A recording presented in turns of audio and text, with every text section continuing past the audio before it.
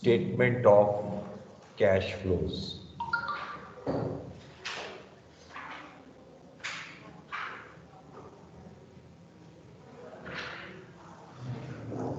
इस previous studies में we have already discussed five components of financial statements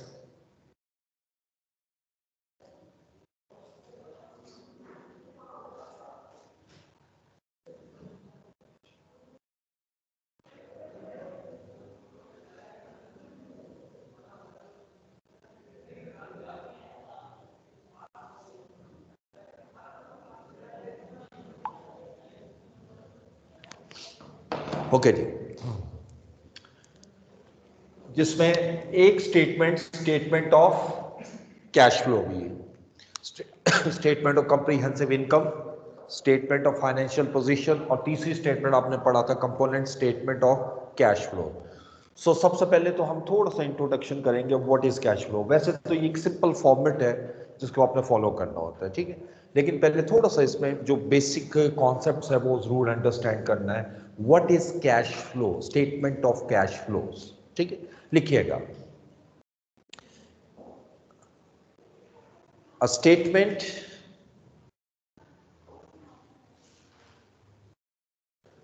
which shows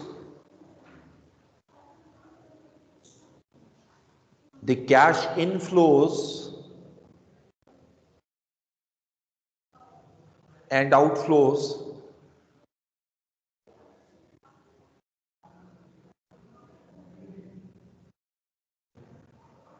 from three major activities. Sir start से दोबारा बोल दें please A statement in which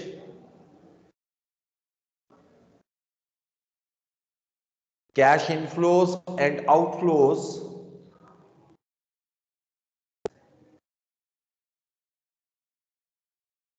वैसे मैंने वर्डिंग पहले बोली, वो थोड़ी सी चेंज थी, मैं दोबारा बोल देता हूँ cash flows statement which shows cash inflows and cash outflows relating to three major activities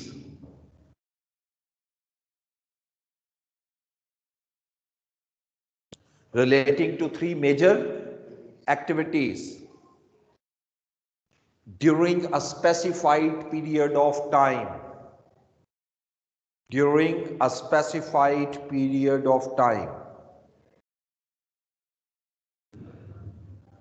इस डेफिनेशन को गौर से देखें तो इसमें बड़ा क्लियर लिखा है कि एक ऐसी स्टेटमेंट जिसके अंदर हमने क्या शो करना है कि कितना कैश आ रहा है हमारे पास, कितना कैश आउटफ्लो हो रहा है अच्छा ये दोनों अलग अलग नेट नहीं कैश इनफ्लोज और cash outflows relating to three major activities अब ये थ्री मेजर एक्टिविटीज़ कौन सी हैं वो भी मैं आपसे डिस्कस करता हूँ, लेकिन ये है कि तीन कैटेगरीज में इसको डिवाइड करना है। उस तीनों कैटेगरीज में कितना कैश इनफ्लो आ रहा है, कितना कैश आउटफ्लो आ रहा है, वो स्टेटमेंट आएगा during a specified period of time जो भी है, मसलन एक साल की बना रहे हो तो एक साल के दौरान कितना कैश इन हुआ और कितना कैश आउट हुआ।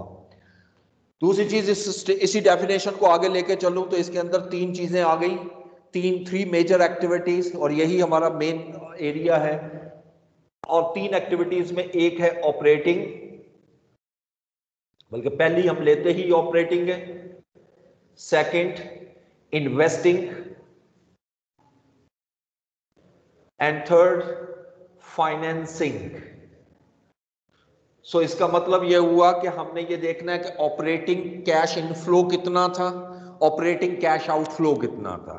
सेकंड और फिर एंड पे तो नेट ही निकलना, ठीक है? सेकंड इन्वेस्टिंग कितना कैश इनफ्लो था और कितना आउटफ्लो है सेम इसी तरह फाइनेंसिंग लेकिन अब हमें यहाँ पर यह सीखना है कि फाइनेंसिंग एक्टिविटी कौन, क्या है ऑपरेटिंग क्या है? क्योंकि सम टाइम ऐसा होता है, कोई ऐसी नई आइटम आपके पास आ जाती है, जिसको जज करने के लिए हमें थोड़ी सी मुश्किल होती है कि जी ये इसमें किसमें लेना पड़ेगा? तो इसलिए अगर जिसके कॉन्सेप्ट होते हैं, वो कभी भी प्रॉब्लम नहीं आता। मसाल के तौर पे इंटरेस्ट है वो बिज़नेस की नेचर के हिसाब से चेंज हो जाएगा।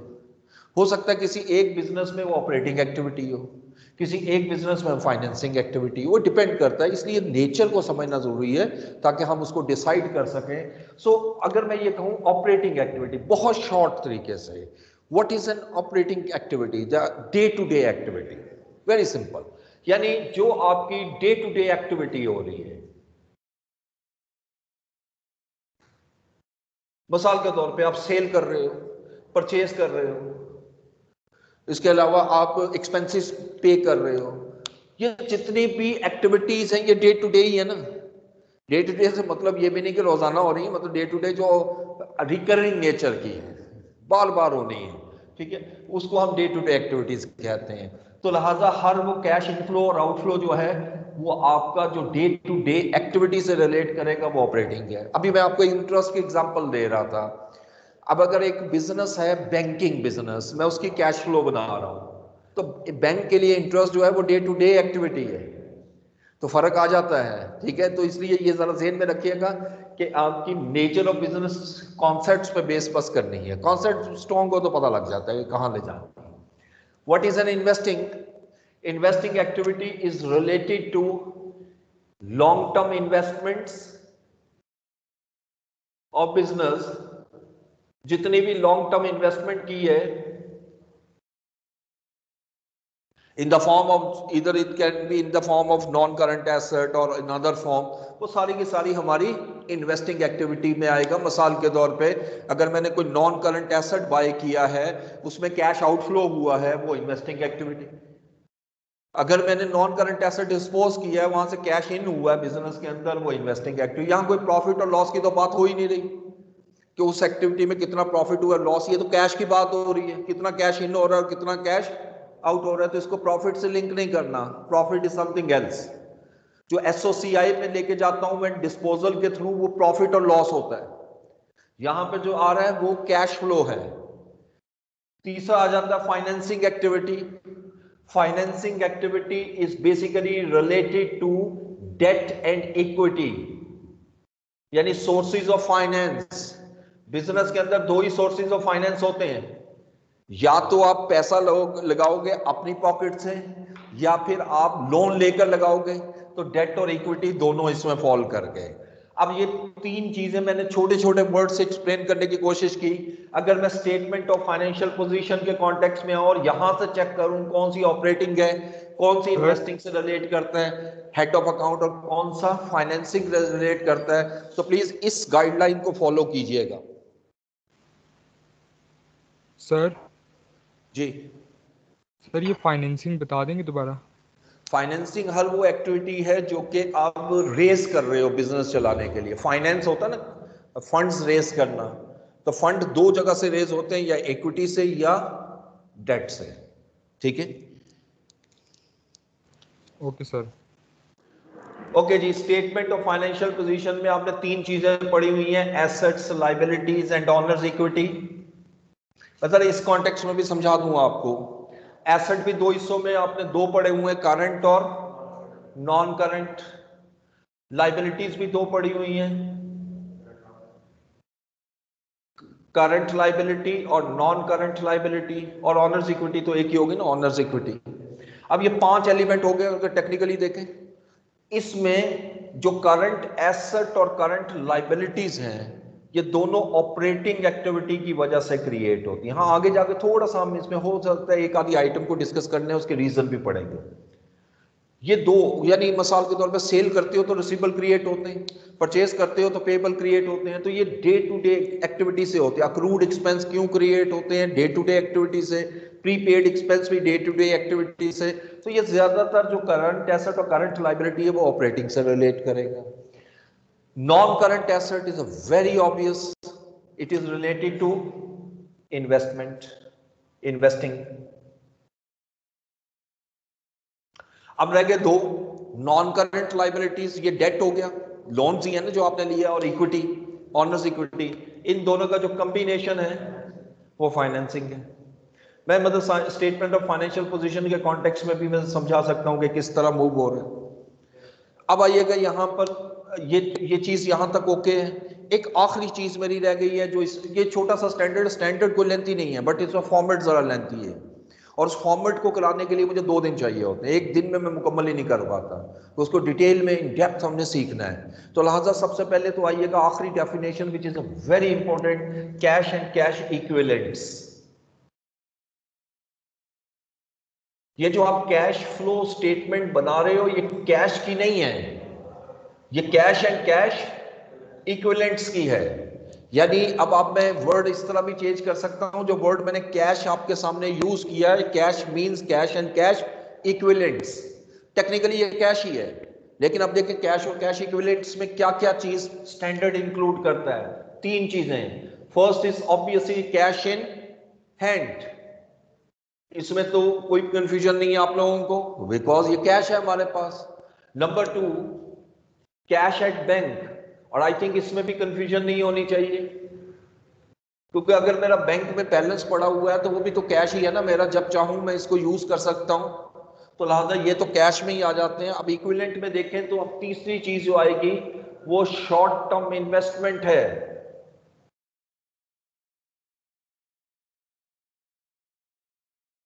शॉर्ट टर्म इन्वेस्टमेंट देखो, हम इन्वेस्टमेंट को देखें, ये इन्वेस्टमेंट का वर्ड है, ये नॉन करंट एसेट नहीं है, या करंट एसेट नहीं इन्वेस्टमेंट है।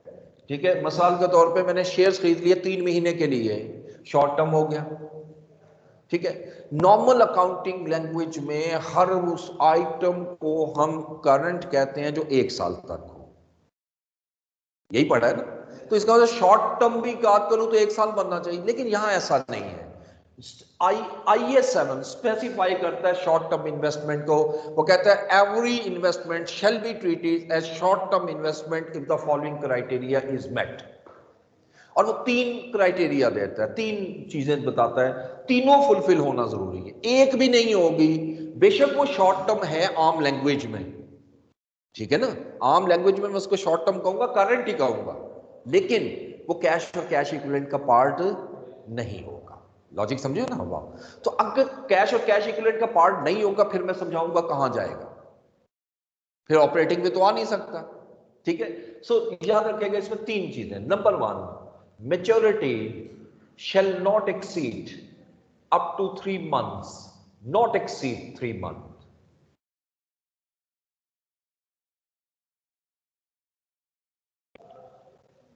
मसलन मैंने कोई इन्वेस्टमेंट की है और अगर सिक्स मंथ के लिए इन्वेस्टमेंट की है तो वो भी तो करंट ही है ना?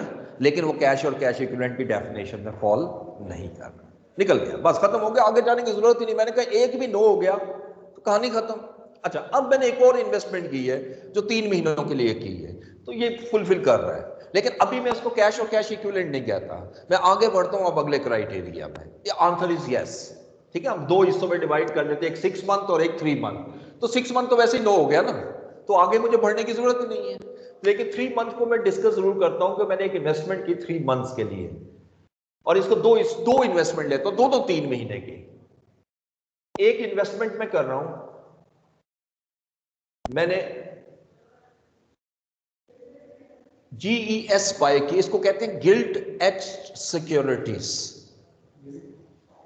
हाँ gilt G I L T एस्ट E D G E D securities. ये नॉर्मली गवर्नमेंट इशू करती है। आपने इकोनॉमिक्स में पढ़ा हुआ है मॉनिटरी वो जो मॉनिटरी लाइफ पॉलिसी उसमें जो सिक्योरिटीज इशू करता है, इसको गवर्नमेंट सिक्योरिटीज भी कह सकते हो। लेकिन मैंने खुद दूसरा वर्ड यूज़ किया, एक वर्ड तो अंडरस्टैंड कर लोगे तो जरा डिफरेंट हो जाए तो जरा सीखने में फ़ायदा होता है। तो गिल्ट एच सिक्योरिटीज एक हमने शेयर्स खरीदे हुए अच्छा अब शेयर्स की तो कोई मेच्योरिटी नहीं ना होती। अंडरस्टूड है वो मैं आज खरीदा, अभी भेज दूँ। आज खरीदा, साल बाद भेज दूँ, मेरी मर्ज़ी है। तो कंपनी ये थ्री मंथ में इसलिए दे रहा हूँ मैनेजमेंट ने कहा है कि तीन महीने में भेजे देना। ठीक है? तो इसका मतलब वो, इसकी मेच्योरिटी थ्री मंथ हो गई। इसकी मेच्योरिटी इस तरह मैयर करनी है शेयर्स की। तो अब पहली कंडीशन देखे तो दोनों में टिक लगा दो। पहली कंडीशन मेट हो रही है। Second highly liquid highly liquid का मतलब है whenever I intend to convert them into cash मैं कैश में कन्वर्ट कर लू सो so, क्या गिल्ट एच सिक्योरिटीज में कन्वर्ट करवा सकता हूँ? ये नहीं करवा सकता। करवा सकता बिल्कुल करवा सकता हूँ। सिक्योरिटीज अब ये इन्वेस्टमेंट है। बॉन्ड्स है। तो जब मर्ज़ी आप इसको सेल कर दो इसमें क्या है? जो मार्केट रेट है, उस पर सेल होने हैं। इसमें रिस्क कम होता है, सिर्फ़ फ़र्क ये है कि इसमें रिस्क कम होता है। तो यस ये भी इसको यस कर रहा हूँ। और शेयर्स के मुतालिक तो मेरे ख्याल दूसरी, दो राय है ही नहीं। ठीक है ना? ये तो मैं, मैंने कहा ना, अभी मैंने बाय किया, अभी सेल कर। जैसे उस मैंने सुबह बाय किया शेयर शाम को दो बजे मैंने सेल भी कर दी दोपहर को। तो ये शेयर्स में बाइंग और सेलिंग तो होता है। थर्ड सब्जेक्ट टू ये बहुत इंपॉर्टेंट है। इनसिग्निफिकेंट रिस्क यानी उन इन्वेस्टमेंट में रिस्क जो है, वो इनसिग्निफिकेंट होगा। यानी जब भी मैं उसको सेल करना चाहूँ, एक तो हाईली लिक्विड तो है, लेकिन उसके अंदर रिस्क एलिमेंट ना हो। होगा तो सही इनसिग्निफिकेंट का वर्ड यूज़ किया है, यानी हाई रिस्क नहीं होगा। अब मुझे आप बताइए कि gilt H securities high risk होती है, लो रिस्क होती है। लो रिस्क होती है, क्योंकि गवर्नमेंट ओन्ड होती है। और जो शेयर्स हैं, हाई रिस्क होते हैं। इसको मैंने जैसे ही क्रॉस लगाया even that it has fulfilled the two two conditions तो ये नो नो होने से ये कैश और कैश इक्विवेलेंट नहीं होगा। अब मैं इसको फाइनल सम अप कर रहा हूँ। अगर कहीं लिखा हो इन्वेस्टमेंट इन शेयर्स और लिखा हो ये शॉर्ट टर्म है थ्री मंथ से कम है हाईली लिक्विड तो खुद ही हो जाएगा। सिर्फ़ मसला ये है कि शेयर्स का लफ्स आया नहीं, रिस्क माइंड में आ गया, हाई रिस्क। तो आप इसको कैश और कैश इक्विवेलेंट नहीं लेना। लेकिन अगर लिखते हैं investment in bonds investment in debentures अच्छा वैसे डिबेंचर बेशक लॉन्ग टर्म हो, लेकिन मैंने खरीदे तीन महीने के लिए। ठीक है ना? या जब खरीदे हैं, उसकी मेच्योरिटी तीन महीने रह गई उसी पाँच साल पुराना हुआ हुआ मैंने खरीदा है तो दो महीने बाद, तीन महीने बाद उसकी मेच्योरिटी है। मैंने खरीद लिया कि यार चलो एंड में शायद को थोड़ा फ़ायदा दे जाए। तो अब वो उसमें देखें तो सिग्निफिकेंट रिस्क है ही नहीं। थ्री मंथ एक्सीड करेगी तो कैश इक्विलेंट नहीं रहेगा। वो तो निकल गया। वो तो खत्म हो गया। पहली कंडीशन ही बड़ी ज़रूरी है। जैसे मैंने सिक्स मंथ बात की थी, लिखा नहीं वो इसलिए नहीं लिखा, वो पहली कंडीशन से निकल गया।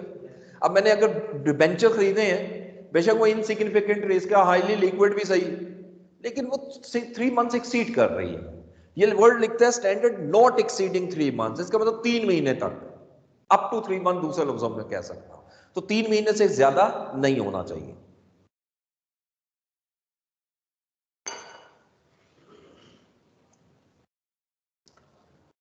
चीनी डालना है।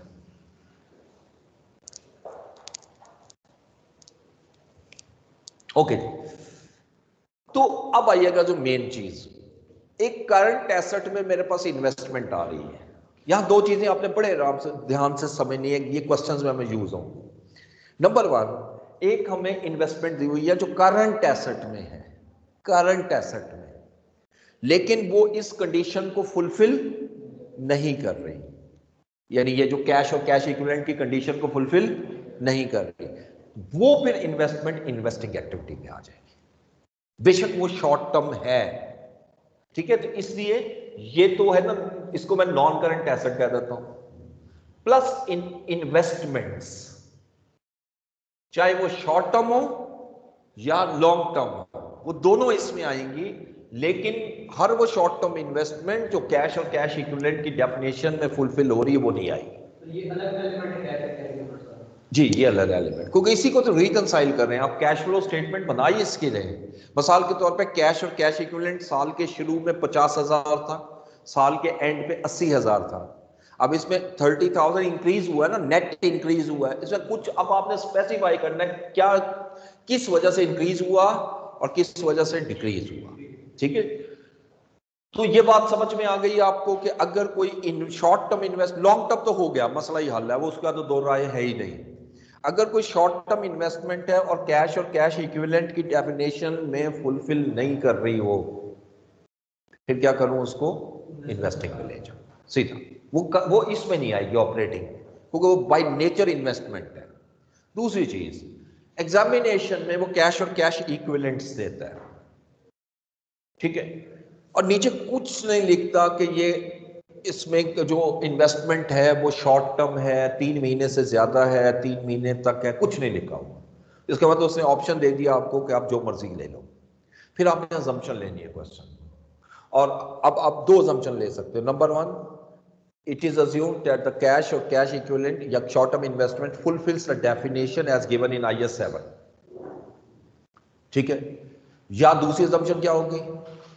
कि it does not fulfill the definition of cash and cash equivalents as given in IS 7 तो जैसे मैं assumption लूँगा, उसके मुताबिक सॉल्व कर दूँगा। अब साहब, दो स्टूडेंट है, दो एक assumption A लेता है और एक assumption B लेता है तो दोनों के आंसर में तो फ़र्क आएगा ना? लेकिन रिकनसाइल तब भी होगा, क्योंकि एक ने उसको कैश और कैश इक्विवेलेंट में डाला है, एक ने कैश फ्लो के अंदर डाल दिया। अल्टीमेट तो क्लोजिंग बैलेंस वही आना है। फ़र्क नहीं आना। लेकिन ये जम्पन बहुत ज़रूरी है। तो लिहाजा दो चीज़ें हो गई। एक तो इन्वेस्टमेंट के बारे में अगर बताया हो, उसके मुताबिक ट्रीट करना है। और अगर शॉर्ट टर्म इन्वेस्टमेंट कैश और कैश इक्विवेलेंट की डेफिनेशन में फुलफिल नहीं होगी, उठाओ उसको सीधा, आप इन्वेस्टिंग एक्टिविटी में ले। नंबर टू अगर कुछ भी ना लिखा हो कि ये कैश और कैश इक्विवेलेंट की डेफिनेशन में फुलफिल हो रहा है या नहीं हो रहा तो फिर आपकी अजम्पशन लेकर आपने सॉल्व करना, जैसे मर्ज़ी कर लो। बोथ आर करेक्ट ठीक है? बस एग्ज़ाम में आप बुक के जब क्वेश्चन करेंगे, अगर उसने कैश इक्विवेलेंट नहीं लिया, मैं लेके कर दूँगा। तो थोड़ा मुख्तलिफ़ हो जाएगा। तो थोड़ा दोनों किया हुआ सीख लोगे वहाँ से और नहीं किया हुआ यहाँ से ले लोगे तो दोनों का आप सॉल्व कर सकते हैं। ठीक है? कुछ चीज़ें ऐसी हैं, बल्कि एक चीज़ खासतौर पे आपके सिलेबस में, जो ऑपरेटिंग में भी आ सकती है फाइनेंसिंग में भी आ सकती है। ठीक है? And that is dividend dividend paid companies में डिविडेंड जो पे करते हैं आप। डिविडेंड को ऑपरेटिंग ये स्टैंडर्ड खुद लिखता है, खुद लिखता है। इट इज़ कंपनीज़ चॉइस कि वो उसको ऑपरेटिंग एक्टिविटी में ले लें या इन्वेस्ट या इन्वेस्टिंग एक्टिविटी में ले सॉरी फाइनेंसिंग एक्टिविटी में। नहीं आमतौर पे दो डिविडेंड होते हैं, एक इंटरम होता है, एक फाइनल इंटरम डिविडेंड भी एक नहीं होता। साल में, वैसे क्वार्टरली मिनिमम मैंने देखा है प्रैक्टिक इन प्रैक्टिस रिस्ट्रिक्शन कोई नहीं है कंपनी के ऊपर जितना मर्ज़ी देना चाहिए लेकिन जैसे जो बड़े बड़े ग्रुप हैं वो साल में चार मरतबा डिविडेंड देते हैं। तीन इंटरम होते हैं, एक फाइनल ठीक है? जैसे बी है ऑडी है, सब बड़े बड़े ग्रुप जितने भी हैं बी बैरिक गोल्ड है, ये एक दफ़ा साल में डिविडेंड नहीं देते। क्योंकि इन्वेस्टर को भी तो उन्होंने चार्ज रखना है ना मोटिवेट करना है तो साथ साथ पैसे थोड़े बहुत उनकी इन्वेस्टमेंट के अगेंस्ट देते रहते तो उसमें तीन इंटरम हो गए और एक फाइनल और अगर आप साल में दो मरतबा डिविडेंड दे रहे हैं तो नेचुरल सी बात है कि एक इंटरम है और एक फाइनल ठीक है? अच्छा अब इसमें डिविडेंड ज़ीरो भी हो सकता है तो वो काउंट होता है, ये याद रखें। मतलब हम कहते हैं ना, पहली दफ़ा शेयर पर पर शेयर दिया, दूसरी दफ़ा आठ दिया, तीसरी दफ़ा सात दिया, चौथी दफ़ा ज़ीरो दे दिए। तो चार ही दिए हैं क्योंकि नंबर ऑफ़ जो है ना, वो फोर काउंट होंगे। नहीं हो हमने तो यहाँ वो लेना जो पे हुआ है सिंपल है। तो तीन दफ़ा पे हुआ तीन ले लेंगे। अच्छा अब डिविडेंड ऑपरेटिंग क्यों? अगर मैं ऑपरेटिंग में लेता हूँ तो इसकी लॉजिक क्या है? डिविडेंड किस पे दिया जाता है? प्रॉफिट्स में। प्रॉफिट्स पे दिया। और प्रॉफिट किससे रिलेट करता है? ऑपरेटिंग से। नेट प्रॉफिट कहाँ से निकलता है? एसओसीआई से। तो ऑपरेटिंग एक्टिविटी सारी कुछ इनकम स्टेटमेंट में ही आ रही है। तो इसका मतलब है कि उस लॉजिक के तहत ये ऑपरेटिंग भी हो सकता है। दूसरी तरफ़ डिविडेंड अगर मैं दूसरी फॉर्म में देखूँ तो जो जो शेयर होल्डर्स ने शेयर्स खरीदे हुए इक्विटी उसके अगेंस्ट हम उसको पे कर रहे हैं। तो इसका मतलब कि स्टैंडर्ड ने इसको ऑप्शन इसलिए दिया कि ये जो मर्ज़ी आप यूज़ कर लें। अच्छा लेकिन एक चीज़ और ज़रूर लिखता है। वो लिखता है consistency shall be applied consistency का मतलब मतलब ये ना हो कि एक साल में ऑपरेटिंग ले लूँ, अगले साल में फाइनेंसिंग ले लूँ। ठीक है, ये नहीं होना चाहिए। अगर आपने ऑपरेटिंग लिया तो फिर ऑपरेटिंग लेते जाओ। फाइनेंसिंग लिया तो फाइनेंसिंग लेते जाओ, ताकि कॉन्सिस्टेंसी प्रिंसिपल जो है, हम उसको प्रॉपरली फॉलो कर सकें। ये लॉजिक समझ आई मेरी? हाँ अब यहाँ आइएगा। चूँकि हम क्वेश्चन में कौन सी कॉन्सिस्टेंसी लगा रहे हैं? एक साल का डाटा होता है, उसी को लगना। मुझे क्या पता कि पिछले साल क्या लगाया था? जो सा मर्ज़ी ले लो। वैसे मैं जो फॉर्मेट कराता हूँ, मैं उसको फाइनेंसिंग में लेता हूँ। उसकी लॉजिक ये है, कोई ये नहीं है कि रीज़न को खास ले रहा हूँ। सिर्फ़ ये है कि ऑपरेटिंग बहुत लेंथी होता है। मैं कहता हूँ, एक आधा इधर भी चला जाए। असल में जितनी भी कैश फ्लो को मैं फॉर्मेट आपके सामने बनाऊँगा, उसमें ये समझ लें कि पूरे फॉर्मेट का अबाउट 60 टू 65 परसेंट ऑपरेटिंग है।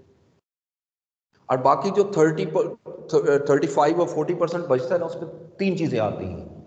इन्वेस्टिंग फाइनेंसिंग और कैश और कैश इक्विलेंट की रिकंसिलिएशन ठीक है? एंड पे टैली भी तो करना होता है ना कि ये बराबर आ रहा है। इस क्वेश्चन की एक और क्वालिटी ये है कि एग्जामिनेशन के अंदर आपका ये क्वेश्चन टैली होगा तो पता लग जाएगा टैली हुआ है।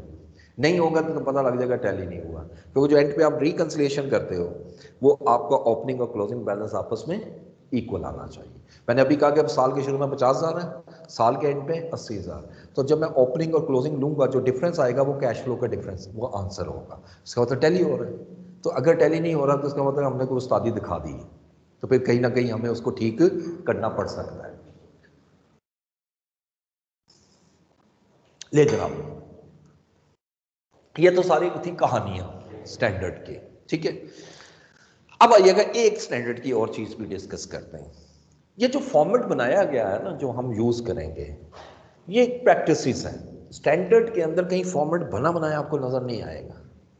वो सिर्फ़ चीज़ें डिस्कस कर रहा है, ये चीज़ आनी चाहिए, ये नहीं आनी चाहिए, ये आनी चाहिए, नहीं आनी चाहिए, वगैरह वगैरह। वो लिखता है जी इंटरेस्ट के बारे में।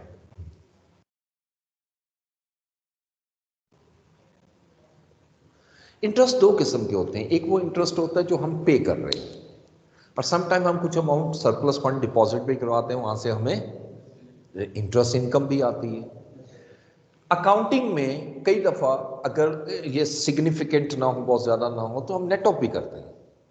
और इसमें स्टैंडर्ड अलाउ करता है मतलब नेट इंटरेस्ट कॉस्ट लिखी होती है या नेट इंटरेस्ट इनकम लिखी होती है। इसका मतलब इसके अंदर लेस हुआ कैश फ्लो स्टेटमेंट ये कहता है, दोनों सेपरेट शो करो। जी। वो कहते हैं, कुछ चीज़ों को ग्रॉप सब करना है कुछ को जिसको नहीं लिख रहा, उसको हम नेट कर सकते हैं इन शॉर्ट जिसके मतलब वो स्पेसिफाई कर रहे हैं ना कि इसको शो करना है। भाई, मैं शो करूँगा तो फिर नेट हो ही नहीं सकता। अंडरस्टूड है? तो इसलिए वो ये कहता है कि interest paid and interest received shall be shown separately on the face of statement of cash flows यानी जो इंटरेस्ट पे किया आपने या इंटरेस्ट रिसीव किया है, वो फेस पे शो होना चाहिए। वो नज़र आना चाहिए, मुझे कैश फ्लो ठीक है? नंबर टू टैक्स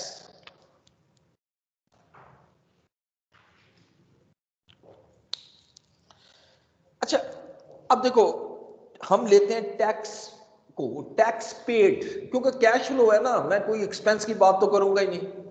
वो कहता है tax paid must be shown on the face of statement of cash flow इसको भी शो करना यानी अब जब मैं टैक्स पेड को शो करता हूँ कैश फ्लो में तो ये मैं आपको बताऊँगा जब फॉर्मेट शुरू करेंगे, यहाँ से क्यों कर रहे हैं। ये लॉजिक्स अंडरस्टैंड करनी यानी वो सिंपल कहता है टैक्स पेड भी आपके, उसके फेस पे शो होना चाहिए। फिर वो कहता है, जी dividend income and expense and paid expense तो नहीं कहूँगा. पेड अगर कोई आपने डिविडेंड इनकम मीन रिसीव किया है और डिविडेंड पे किया है, इसको भी आप सेपरेटली शो करोगे कैश फ्लो में. खैर, ये तो अकाउंटिंग में भी सेपरेट होता है, क्योंकि एक आइटम जो है इनकम स्टेटमेंट से रिलेट करती है और एक statement of changes in equity में आती है. डिविडेंड कभी भी इनकम स्टेटमेंट का पार्ट नहीं है. डिविडेंड पेड ठीक है? इस, इसलिए मैं इस पॉइंट ऑफ़ व्यू से मैं ज़्यादा प्रेफरेंस फाइनेंसिंग को भी देता हूँ कि ऑपरेटिंग की बजाय फाइनेंसिंग में ले लें, लेकिन फिर भी कहूँगा स्टैंडर्ड चूँकि अलाउ करता है ऑपरेटिंग को तो ये कोई मसला मतलब आप कई दफ़ा आप सोल्यूशन देखते हो आई कैब ऑपरेटिंग में लिख है। आप कहते हो जी हमने तो क्लास में कराया है फाइनेंसिंग में लो। तो ये कोई रिस्ट्रिक्शन नहीं है। इसलिए मैं कुछ चीज़ें बड़ी क्लियर कर रहा हूँ आपको कि एग्ज़ाम में जब सोल्यूशन देखो तो परेशान। वैसे आई कैब भी ज़्यादातर सोल्यूशन में फाइनेंसिंग में लेता है। ठीक है? लेकिन फिर अगेन ये कोई हार्ड एंड फास्ट रूल नहीं है। अगर मैं वो ले भी रहा है मैं ऑपरेटिंग भी ले रहा हूँ वो गलत कर ही नहीं सकता। एग्ज़ाम में। किसी सूरत में। अब सिर्फ़ फॉर्मेट डिस्कस कर लें। फॉर्मेट जरा काफ़ी लंबा। और ये आज मैं शुरू करूँगा और कल तक ये चलेगा इंशाल्लाह। ठीक है? हो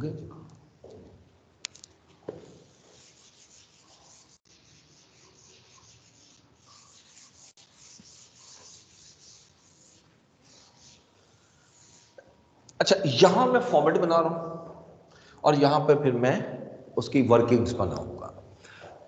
आई एस सेवन इसके दो मेथड बताता है कैश फ्लो के। One is direct method and second is indirect method ठीक है? एक एक डायरेक्ट मेथड और एक इनडायरेक्ट मेथड पास पेपर में 85 परसेंट इनडायरेक्ट मेथड आया हुआ है और 15 परसेंट डायरेक्ट मेथड आया अब मैं अप्रोक्सीमेशन में बात कर रहा हूँ। यानी शायद आपको दो क्वेश्चन मिले सिर्फ़ डायरेक्ट मेथड बाकी सारे इनडायरेक्ट क्योंकि डायरेक्ट मेथड में कम टाइम लगता है। रीजन डायरेक्ट ले रहे हो ना। कितना कैश आ रहा है, बस वो सीधा लिख रहे हो। इनडायरेक्ट में आपने रिवर्स कैलकुलेशन करनी है। और इसलिए एग्जामिनर यूज़ करता है इनडायरेक्ट फिर प्रैक्टिसेस क्या कहती हैं? जो हमारी अकाउंटिंग प्रैक्टिसेस है मार्केट प्रैक्टिसेस वो भी इनडायरेक्ट मेथड है. अब कोई भी फाइनेंशियल स्टेटमेंट उठा लो, वो इनडायरेक्ट को प्रेफर करते हैं. बिकॉज़ इनडायरेक्ट ज़्यादा बेहतर इंफॉर्मेशन देता है as compare to direct indirect method में सिर्फ़ ये होता है, इसलिए पहले यही करवाना मैंने डायरेक्ट तो इजीली हो जाता है. इनडायरेक्ट मेथड में आपने प्रॉफिट लेकर उसको कैश में कन्वर्ट करवाना मैं अगर ये क्वेश्चन करूँ कि एक बिज़नेस को पहले साल प्रॉफिट हुआ नब्बे हज़ार रुपए नाइन्टी थाउज़ेंड क्या मैं कह सकता हूँ उसका कैश इनफ्लो भी नाइन्टी थाउज़ेंड है? नहीं, कभी भी नहीं। कैश फ्लो तो डिफरेंट होगा। हो सकता है कि प्रॉफिट नाइन्टी थाउज़ेंड है और कैश फ्लो नेगेटिव आ रहा है। प्रॉफिट नाइन्टी थाउज़ेंड है और कैश फ्लो नेगेटिव है। ये बहुत सी सिचुएशन है। ठीक है? इसलिए प्लीज़ कैश को, अल्लाह ताला इसलिए तो कैश फ्लो बनाई जाती है। नहीं तो क्या ज़रूरत है? अगर प्रॉफिट ही कैश के इक्वल हो तो फिर तो ज़रूरत ही नहीं। क्योंकि हम अकाउंटिंग करते हैं अक्रूवल पे, और कैश फ्लो बन रही है कैश में तो कैसे इक्वल हो सकते हैं? ठीक है ना? एक बड़ी लॉजिकल एग्ज़ाम्पल देता हूँ सिंपल से। ये मार्कर मैं बाय करता हूँ, पचास रुपए में सपोज़ है तो नहीं खैर पचास का? पचास रुपए में बाय करता हूँ। कैश आउटफ्लो कितना हुआ? मैंने इसको एटी रुपीज़ में सेल कर दिया लेकिन सेल क्रेडिट पे किया है और कैश फ्लो खत्म बस खत्म हो गया ट्रांजेक्शन मैं आपसे कहता हूँ प्रॉफिट कितना है? और कैश फ्लो कितना है? माइनस फिफ्टी फ़र्क आ गया? ये एक ट्रांजेक्शन मैंने समझाई। इसे कभी भी इक्वल नहीं होता। ठीक है हाँ अल्टीमेटली कहीं ना कहीं इक्वल ज़रूर होगा लेकिन वो अगली इफ़ेक्ट आ चुके होंगे। Yes absolutely accrual basis accounting में मैंने सेल रिकॉर्ड करनी है। अक्रूवल बेसिस पे कर दी, बस ठीक है। तो प्रॉफिट भी आ, जब सेल रिकॉर्ड हुई तो प्रॉफिट भी आ गया। तो उसकी कॉस्ट ऑफ़ सेल भी रिकॉर्ड हो गई, ठीक है। तो लिहाजा इनडायरेक्ट मेथड में सबसे पहले मैं लेता हूँ ऑपरेटिंग एक्टिविटीज़ ऑपरेटिंग एक्टिविटी एक एक लेजर जरा सीखना है आपने एक लेजर हमारा टाइम टाइम हमारा सारा लेजर्स पे लगना है। ये अच्छा अब ये काफ़ी ज़्यादा लेजर बनेंगे तो ये ना परेशान होइएगा कि ये बॉल लेंथी नहीं, ये सारे एक क्वेश्चन में नहीं आने ये तो मैं मैक्सिमम आपके सामने डिस्कस कर रहा हूँ, अगर हर चीज़ मिसिंग हो तो कैसी हो? कैसे लगा? हर चीज़ मिसिंग हो नहीं सकती क्वेश्चन के अंदर, ठीक है? तो ऑपरेटिंग एक्टिविटी में इनडायरेक्ट मैथड में मैंने स्टार्ट कहाँ से करना है? प्रॉफिट से।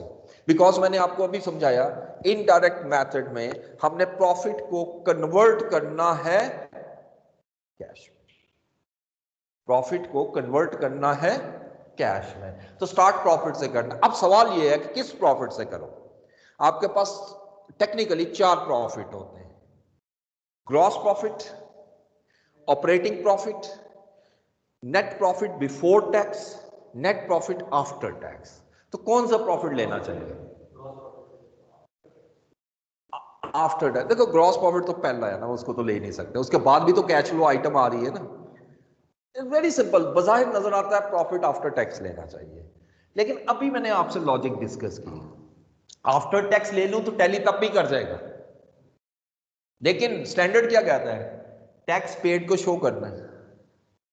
अगर टैक्स पेड को शो करना है तो मैं कैसे ले लूँ आफ्टर टैक्स आफ्टर टैक्स लिया तो टैक्स तो निकल गया।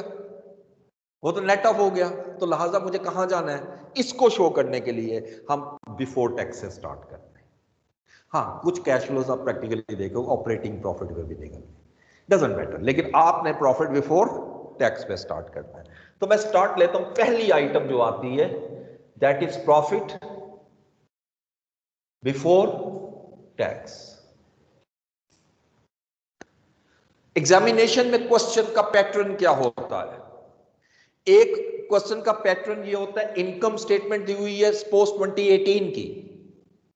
इनकम स्टेटमेंट दी हुई है 2018 की और स्टेटमेंट ऑफ़ फाइनेंशियल पोजीशन दी हुई है 2018 और 2017 की। ठीक है, ये डाटा दिया हुआ है। जिस क्वेश्चन में डाटा ज़्यादा दिया होता है, वो आसानी से बनती है कैश फ्लो मतलब ये शॉर्ट जो क्वेश्चन लंबा दिया होगा ना, वो मेरे लिए आसान हो जाएगा। और जितना क्वेश्चन मैं छोटा कर दूँगा, उतनी वर्किंग ज़्यादा बनानी पड़ेगी। तो वो डाटा ही नहीं होगा। तो दूसरा फॉर्मेट ये होता है यार तू चाह चीनी पा लिया आया है?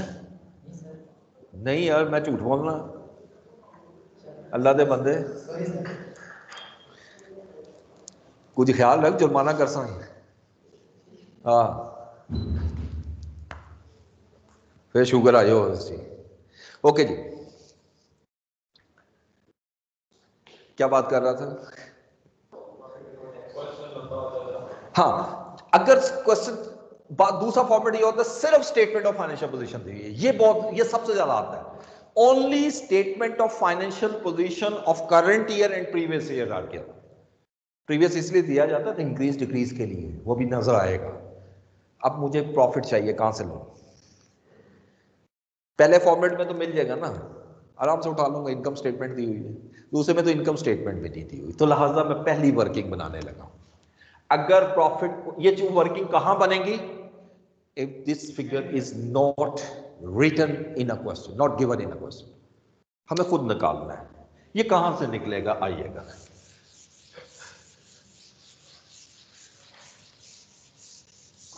पहला लेजर जो मैंने बनाना ना प्रॉफिट के लिए, उसको हम कहते हैं रिटेन्ड अर्निंग्स इसके मुख्तलिफ़ नाम होते हैं जी। परेशान नहीं होना एग्ज़ाम में retained earnings retained profits even accumulated profits कोई भी वर्ड यूज़ कर रहे हैं, ठीक है? रिटेन्ड असल में प्रॉफिट कहाँ क्लोज होता है? इक्विटी में। और इक्विटी में रिटेन अर्निंग उसका हिस्सा होता है। तो लिहाजा इसी में से प्रॉफिट निकलेगा। अब इसमें क्या क्या चीज़ें आ सकती है? मैक्सिमम वो डिस्कस कर रहा हूँ। रिटेन अर्निंग इसका ओपनिंग बैलेंस कहाँ पे होता है? ओपनिंग बैलेंस क्रेडिट साइड पे आएगा ना? अच्छा अब ये आपको मैंने अभी कहा स्टेटमेंट ऑफ़ फाइनेंशियल पोजीशन दो सालों के गिवन होती है तो ये ओपनिंग बैलेंस यहाँ से उठाओगे जगह जगह पे मैं लाऊँगा। क्रेडिट साइड पे क्या क्या आ सकता है? प्रॉफिट एक तो प्रॉफिट लेकिन यहाँ जो प्रॉफिट आना है ना, वो आफ्टर टैक्स जो यहाँ क्लोज होता है वो आफ्टर टैक्स है, कोई बात नहीं। ये मिसिंग फिगर है। जहाँ मैं लगाऊँगा ना क्वेश्चन मार्क यही मैंने फाइंड करना है। और क्रेडिट साइड पे कुछ आ सकता है रिटेन अर्निंग है। Incremental depreciation I S sixteen में जो इंक्रीमेंटल डेप्रिसिएशन है, वो क्लोज करते हैं। उसकी एंट्री क्या पड़ी हुई है? रीवैल्यूएशन सरप्लस डेबिट और रीवैल्यू और रिटेन अर्निंग क्रेडिट तो incremental depreciation as per IS 16 और क्रेडिट साइड पे कुछ नहीं आना डेबिट साइड पे आए। डेबिट डेबिट साइड पे क्या क्या आएगा? First is a dividend please मैंने कहीं नहीं लिखा डिविडेंड पेड इसकी डिस्कशन बाद में करनी है। यहाँ बस जो डिविडेंड डिक्लेयर हुआ है वो लेना है। जो डिविडेंड डिक्लेयर हुआ है वो यहाँ ले लेना है। डिविडेंड के बाद रिटेन अर्निंग और किस वजह से कम होती है? ट्रांसफ़र टू रिज़र्व बाज़ात मैनेजमेंट ये फैसला करती है कि 20 परसेंट जो प्रॉफिट है वो अलहदा रख लो। उसको रिज़र्व कहते हैं। कोई भी रिज़र्व हो, मैं नाम नहीं लिख रहा। ठीक है? वो भी, उससे भी उस साल की रिटेन अर्निंग कम हो जाएगी। और उसके बाद में सीधा क्लोजिंग बैलेंस लिख अच्छा अब मुझे यहाँ चाहिए प्रॉफिट बिफोर टैक्स ये है प्रॉफिट मैंने अब इसको कन्वर्ट करना है तो मैं इसी को नीचे ले आता हूँ प्रॉफिट आफ्टर टैक्स मेरा, जो भी यहाँ से निकलेगा. ऊपर वर्किंग वन से. इसको मैंने प्रॉफिट बिफोर टैक्स में कन्वर्ट करना है तो मुझे क्या चाहिए? टैक्स एक्सपेंस तो क्या उसको प्लस करूँगा? माइनस प्लस करूँगा. रिवर्स जा रहा हूँ ना. वैसे तो माइनस होता है, लेकिन जब मैं रिवर्स जा रहा हूँ टैक्स एक्सपेंस वैसे भी जो प्रॉफिट बिफोर टैक्स है, वो हाई होगा आफ्टर टैक्स कम होगा। इन दोनों को ऐड कर लो। This is non profit before tax लेकिन अब यहाँ आइएगा। टैक्स एक्सपेंस अगर तो इनकम स्टेटमेंट दी हुई है तो फाइन फिर तो मैं लिख लूँगा। या क्वेश्चन में दिया हुआ कहीं, अलहदा से भी एडजस्टमेंट में भी दे देता तब भी गुड हो गया। लेकिन नहीं दिया हुआ। तो इसकी भी वर्किंग बनेगी। अब यहाँ दूसरी वर्किंग अब मैंने टैक्स एक्सपेंस निकालना है तो किस हेड से निकलेगा? टैक्स पेएबल से।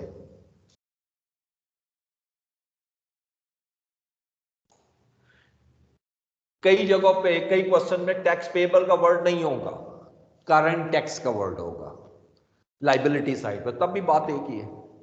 तो टैक्स पेएबल का ओपनिंग बैलेंस कहाँ होगा? क्रेडिट लाइबिलिटी है ना? क्रेडिट ये गिवन होगा। फिर टैक्स एक्सपेंस जो आपने एसओसीआई को चार्ज किया है, वो यहाँ क्रेडिट होगा ना? यही मैंने फाइंड करना है टैक्स एक्सपेंस और जितना टैक्स पे किया है, वो डेबिट साइड पे होगा। पे से लाइबिलिटी कम होती है ना? और उसके बाद क्लोजिंग बैलेंस भी गिवन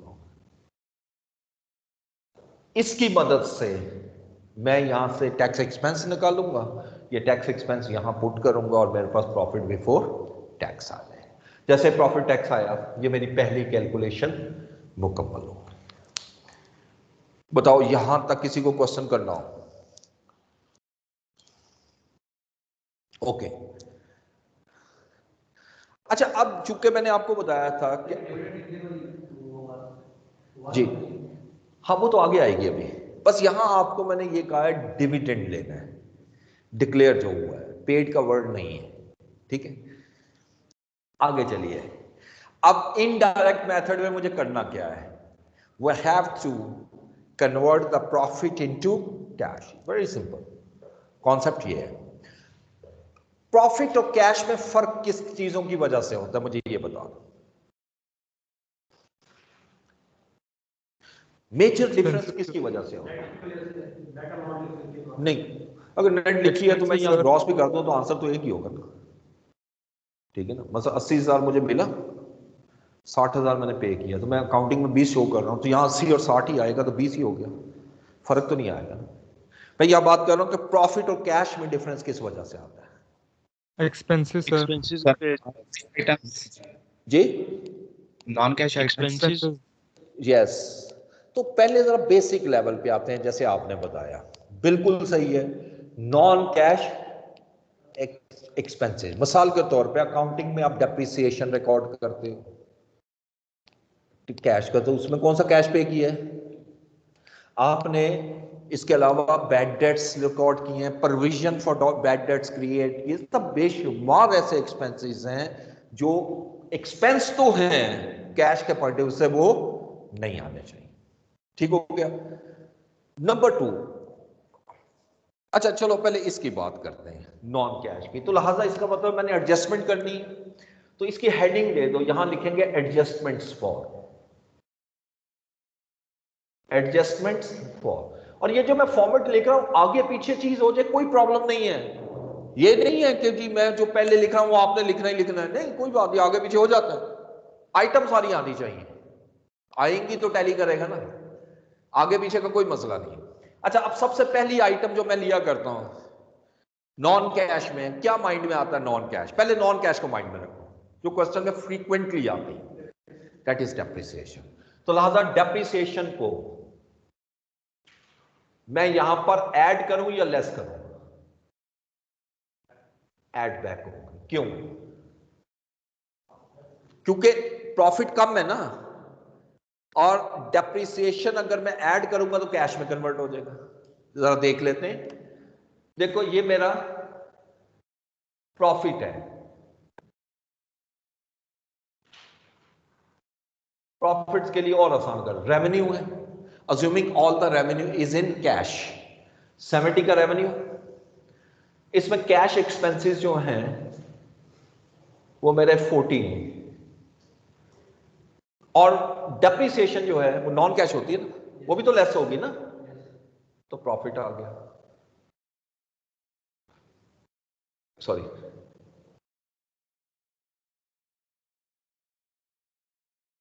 लेकिन अगर मैं इस मेथड से कैश बनाऊँ cash flow direct method direct method में हम क्या करते हैं? जो कैश की आइटम वो लेनी है, जो नॉन कैश है छोड़ देनी सिर्फ़ से वो एड बैक नहीं करते सेवेंटी ये फोर्टी भी आएगा? क्या ये आएगा डेप्रिसिएशन नहीं।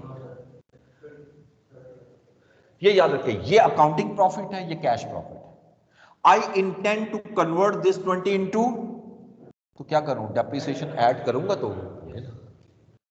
ठीक है ना? क्योंकि वहाँ एक्सपेंस कम हो रहा है ना कैश के पॉइंट ऑफ़ से। एक्सपेंस कम हो रहा है तो प्रॉफिट बढ़ जाएगा। ये मैंने इसलिए ऐड किया। सो so, अगर तो डेप्रिसिएशन क्वेश्चन में गिवन है शुक्र अदा करें लिख दें। नहीं गिवन फिर तो कैलकुलेट तो करनी पड़ेगी। वर्किंग थ्री दो चूँकि मैं कैलकुलेट कर चुका हूँ इसलिए वर्किंग थ्री में आ गया। ये बताइए किस हेड से मैं डेप्रिसिएशन निकालू? नॉन करंट एसेट से। नहीं मतलब किस हेड से? हेड ऑफ़ अकाउंट बताए जहाँ से बैलेंस शीट में से उठाऊं और मैं ये बना लू। Accumulated depreciation good accumulated depreciation ठीक है? तो इसको दो हिस्सों में डिवाइड कर रहा हूँ ए ये वर्किंग को मैं खुद दो हिस्सों में डिवाइड कर रहा हूँ। डिपेंड करता क्वेश्चन में if accumulated depreciation balances are given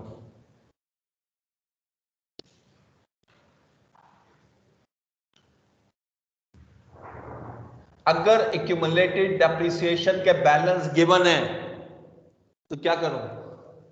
फिर एक्यूमुलेटेड डेप्रिसिएशन का ही लेजर यूज़ करो। एक्यूमुलेटेड डेप्रिसिएशन का ओपनिंग बैलेंस डेबिट होता है या क्रेडिट क्रेडिट होगा। क्रेडिट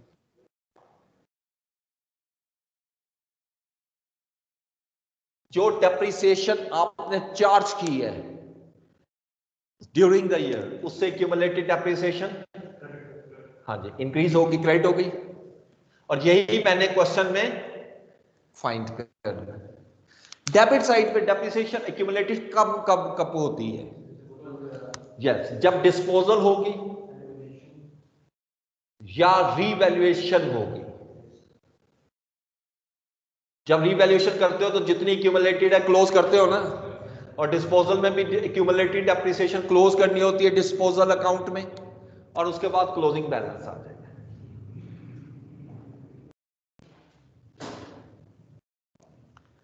ठीक हो गया, ये समझ आ गई बात?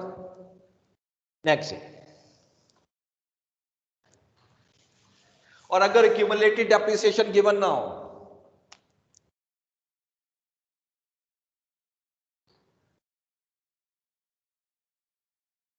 इसका भी बैलेंस ना दिया हो, यानी मीन उसने नॉन करंट एसेट दिए हुए हैं और लेस करके दिए हुए डब्ल्यू पे।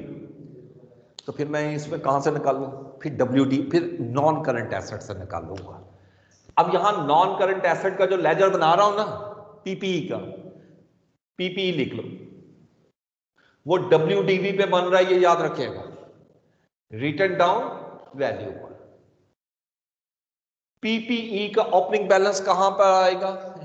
डेबिट एसेट है ना। अब इसमें क्या क्या चीज़ आती है? अगर कोई एडिशन हुई है डेबिट अगर कोई डिस्पोजल हुई है,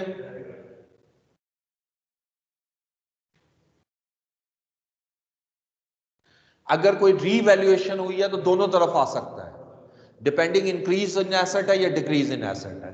तो रीवैल्यूएशन में डेबिट साइड पे भी लिख रहा हूँ और क्रेडिट साइड पे भी लिख रहा हूँ। डिपेंडिंग ये इंक्रीज है या डिक्रीज और फिर डेप्रीसिएशन एक्सपेंस जो मैंने फाइंड करना है और एसेट का क्लोजिंग बैलेंस दिया। तो क्वेश्चन के मुताबिक मैं डिसाइड करूँगा कि कहाँ से मैंने इसको कैलकुलेट करना। ठीक हो गया जी?